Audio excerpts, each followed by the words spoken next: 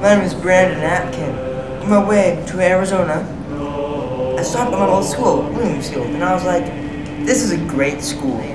And I saw Bigfoot. Have sworn it was Bigfoot. He was in, like, the line, just sitting right there, just right there. It was really creepy.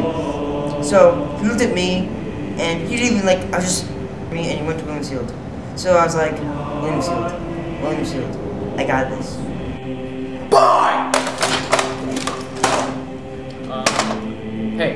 Um, so yesterday I got kicked out of my mom's house. As you can see, I'm pretty much mad at her right now. Uh, there was a job opening for finding Bigfoot, so I got curious about it. So I needed the cash now, because obviously I got kicked out of my mom's house, so that's pretty much it. I took the job. I don't believe in Bigfoot um, because um, and yet I'm actually looking for, uh. Uh, that's why I've been looking for Bigfoot and I haven't seen him and I really don't believe him because I haven't seen him around. And uh, that's the next one. We don't really know much about our friend Sebastian's story. You see, he always wears that hood. It bugs me. It's like Darth Vader, like, like he keeps going like.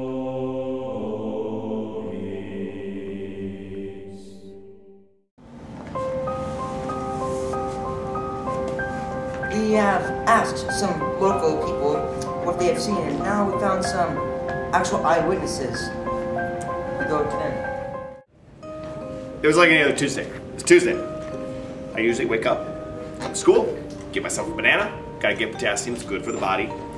I'm walking just across campus, just walking, you know, got my, got my truck over there at park, walk through the fence, and I walk over to the office. But it was just not a normal walk to the office. Here's the thing. It was so big. It was just, it was like, I don't know, eight feet, nine feet tall. It, it, it looked at me. It did, it, it turned and looked at me. It was walking away down that way, and it turned and it looked at me, and it saw I had a banana. It did. I could tell what it it. So I just ran inside the office, and I couldn't stop looking at it, and it couldn't stop looking at me. It kept looking at me. It's like it knew. It said, "I'm gonna find you." It was, it was much. It was too much. And the banana wasn't even that good actually that day. I should have given it to it. It was all mushy. You know the mushy bananas? I don't like mushy bananas. I like it preferably like they're a little bit brown. Not green. Green bananas aren't good. This one's a good one. Not mushy at all. But I hope I hope someone finds that thing. We tried to interview Coach Campbell. He denied it. I think it's because he knows something about the Bigfoot sightings. I sense it. My name's Jim, Jim Belanks, and this is my story about Bigfoot. So, I was walking in the Albanian, Turanian, Tourette's, Alcanian mountains. Sounds like a scary place, huh? Well, it is. I was swinging, swinging like Tarzan the Monkey Boy, on vines. Not any vines, ropey vines, like the ones at playground when you had to climb up and slide down and your hands get all red. They was like me, and it was cold, blistering cold. I had blisters in places the blisters should not be, and you know, so I'm desperate for some heat. I couldn't make a fire. I never went to Boy Scouts. I grew up in Detroit, so I was, you know, I was gangbanger. But that's another story, and I'm not gonna get into that. Anyways, so I see this big fur piece, and I'm like, I could grab that and put that on my chest because I don't grow chest hair yet. So I'm like, hmm, warmth, right? That's what I'm thinking. But I walk up and I grab it, and it's a foot, a big foot. Literally, it's Bigfoot. And he gets up and he grabs me by the left nipple, and he says, "Boy, here's your options." He says, "I'll either rip this off and you can go clean, or I'm gonna kill you where you stand." And I said, "Rip it off! Rip it off!" His pop came off. Like one of those things where you push it in, put it on the ground, flies up.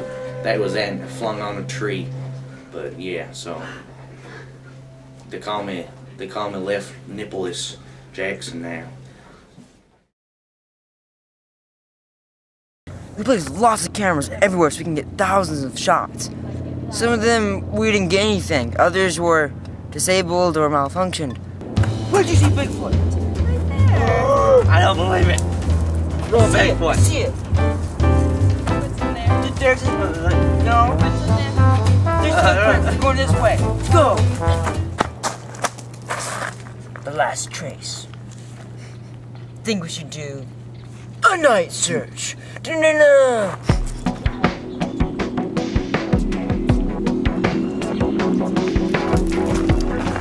Bigfoot! Sebastian! Sebastian!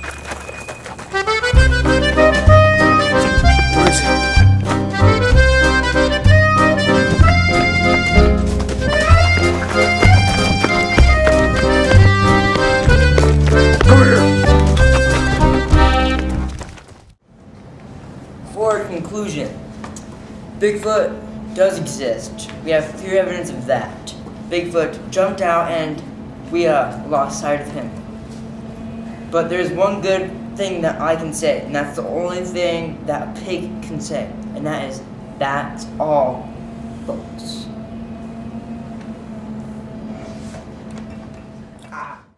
Oh